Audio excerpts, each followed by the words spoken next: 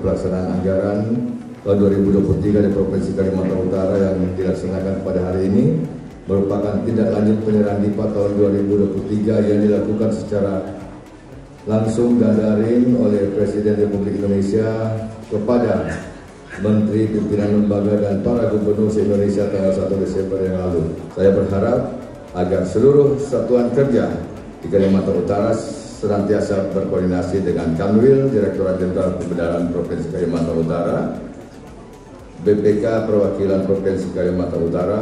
serta perwakilan BPKP Provinsi Kalimantan Utara dalam pengelolaan keuangan negara dan saya juga berharap agar BPK dan BPKP untuk dapat bersinergi dengan Pemprov Kaltara sehingga kinerja APBN di Kalimantan Utara dapat berjalan dengan baik. Mari kita bersama-sama bertanggung jawab untuk mengawasi setiap rupiah anggaran yang disalurkan di Kalimantan Utara.